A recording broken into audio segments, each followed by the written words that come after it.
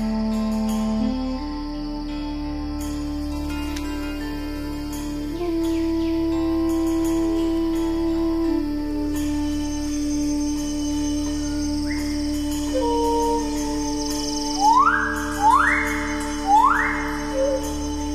go from expected to extraordinary in the blink of an eye. You're awestricken they transform themselves to something that you've never seen before. They swagger and serenade. They dance and display. They're unlike any creatures on Earth and one of the most astounding phenomena ever witnessed.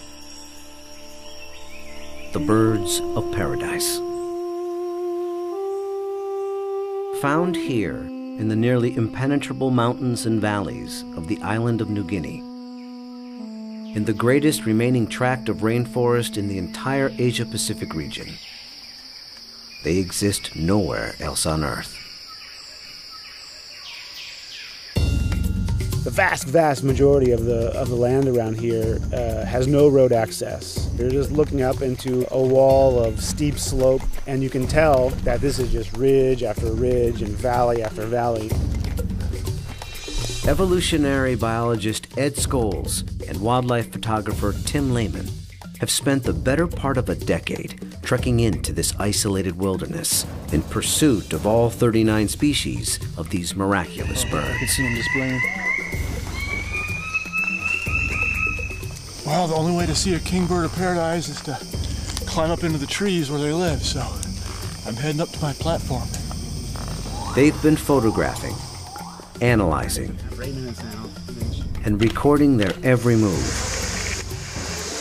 every behavior, in an attempt to comprehend their secrets.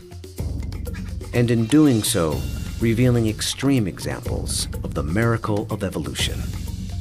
Birds of paradise represent one of these singular events of evolution that stand out, that are extraordinary.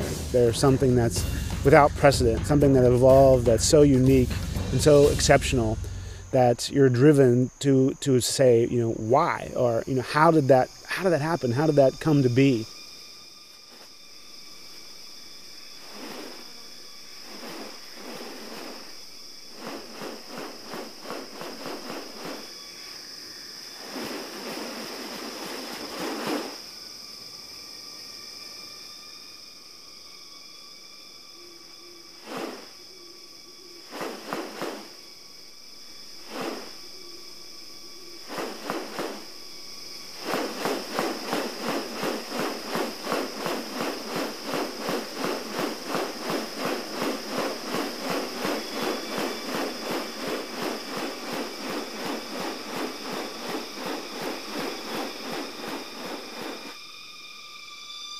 The birds of paradise are remarkable not only for their exceptional beauty and almost otherworldly appearance, but as veritable living textbooks on adaptation and sexual selection.